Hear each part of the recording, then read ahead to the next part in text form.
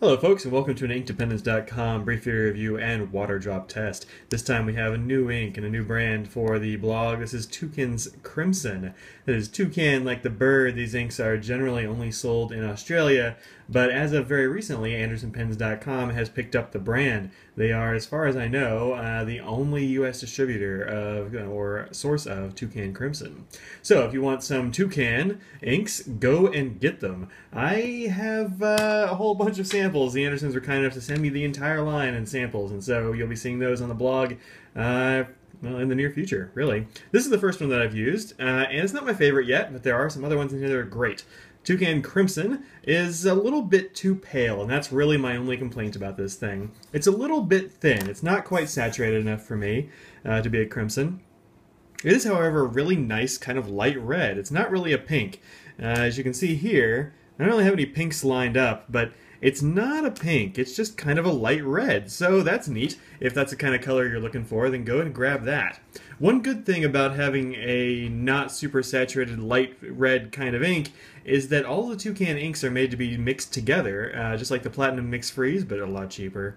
And uh, so if you want to make your own mixes, you don't want them to be crazy saturated from the get-go, or else it's going to be hard to mix them. So uh, that's a really good reason to keep it sort of unsaturated. You can see how it um, compares to some other colors here, notably Toucan Scarlet, which I really like quite a lot, uh, which is a far darker red. It seems more like crimson to me, but what do I know? Um, and then the Pilot Petite 2, the Preppy, uh, Fireball. The thing about Fireball is when you leave it in a pen for very long, it turns kind of darker. Uh, so Fireball right now is kind of the same color as this Akkerman 18 that I only just loaded up. That's why I put it in the very bottom here. It's kind of a brick red, but this is a light red. So um, neat. It's a great ink. I've got no problems with it. Aside from, it's just a little bit too light for me. So that quibble aside, let's see how it does with water. And there we go. Shh, Scrabble, Scraggles. I call my dog the wrong name. All right. While this is sitting there, you know, she's yipping at a cat. No big deal. Shh, Scraggles. I'm making a video here. Silly goose. All right. So, work that away, and actually better than I thought it was going to be. It did kind of soak through the paper a little bit here. This Rhodia paper is not as um, doesn't seem as water resistant as the uh, dot pads I was used to using. But nonetheless, we've got quite a lot of pink left over here. closer here. Yeah, quite a lot of pink left over. I'm a little surprised. Um, so, you know, cool. It did come away completely in a few spots, so this is not going to be exactly water resistant, but I've seen worse. The uh, pink bit on the corner there is uh, what came loose. So, here's the chromatography right here.